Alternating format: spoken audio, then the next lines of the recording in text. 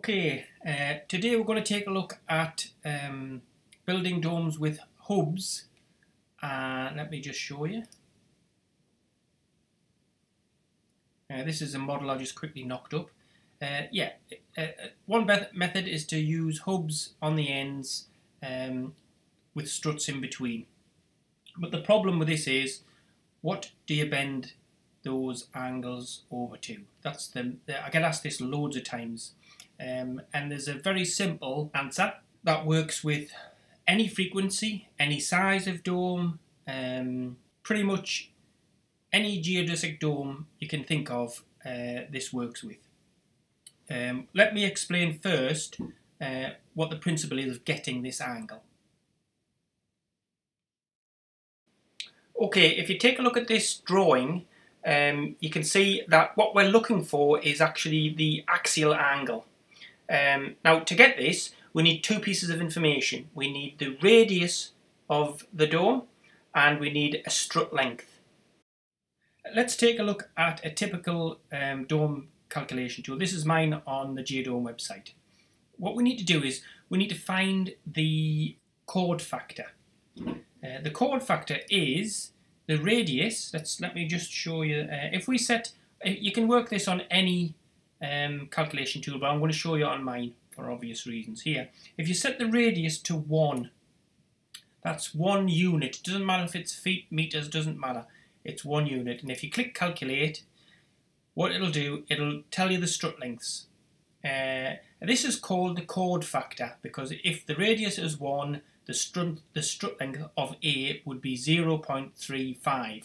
Now if you have a 10 meter uh, radius dome, calculate that, and you can see that this is uh, 10 times bigger. So what we're looking at, the, the base chord factor is when the radius is 1. So let's reset that to 1. So if the radius is 1, the strut length is 0.35. Uh, we'll scroll down. On the red one, that's strut A, is there. Strut B is 0.4. Uh, that's the blue line. And strut C is 0.41. Uh, that's all the information you need to work out what the bend angles are for your hubs. Right, next go to this page. Uh, it's the flattened conduit bend angle calculator.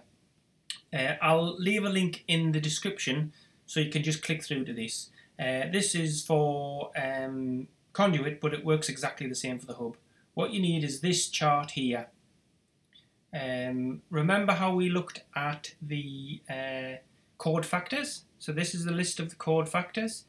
This is the central angle, the axial angle, and the bend angle. The bend angle is the one we're interested in. Uh, here's a quick diagram here.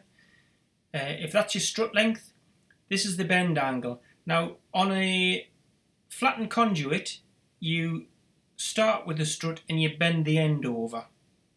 On a hub, you're just doing exactly the same bend, but you start from the this position and you bend over to the strut side. The bend angle is exactly the same for both. So it's related to the axial angle.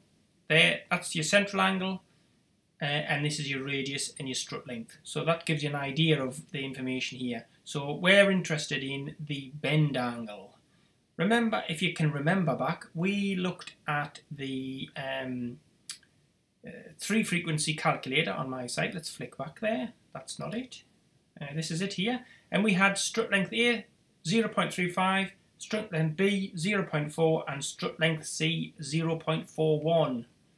Let's just look at this 0.35 I think it was wasn't it 0.35 now we don't have an exact match there we go 0.347 is 10 degrees so that would be a 10 degree bend angle for that strut uh, and the other one was, I believe, 0.4. The closest one to that would be 0.399, which is 11.5, and the um, 0.41 was uh, the slightly longer one, which is 12 degrees. So we have uh, three measurements here. We've got um, 10 degrees, 11.5 and 12 degrees. Now those 11.5 uh, 0.4 is a little bit bigger than that, obviously. Uh, so what I would I would round them in to the same, so that you do uh, the pentagons at 10 degrees and the others at 12. Let's just have a look. Here's another uh, page on the website.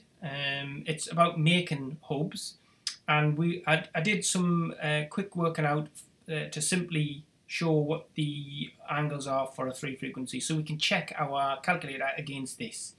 And here we go. We have the red one, which is the pentagon, 10 degrees. The blue is 12 degrees, and the green is also 12 degrees.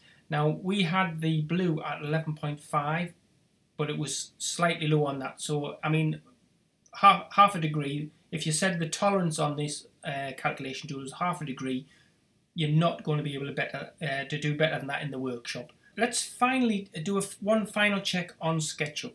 Let's, um, um, this is a quick model, but I can should be able to color code it.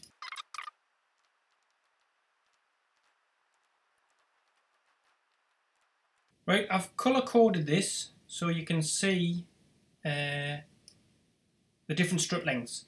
Uh, if, if you can remember back to the calculation tool, the green ones were the longest, the blue ones, uh, these were 0.4, these uh, 0.41, and these 0.35. So the reds were the shortest, blues next, and greens final. Uh, so let's, uh, I, I, do think we said uh, that the green one was 12 degrees. So on SketchUp, we can go window, tool, sorry, protractor. What we do with the protractor is it'll set a, a little guideline up. We want to know what the angle is. Let's just go here just to uh, it's, it's set a little dotted line up. So we can now use that dotted line to measure with our protractor.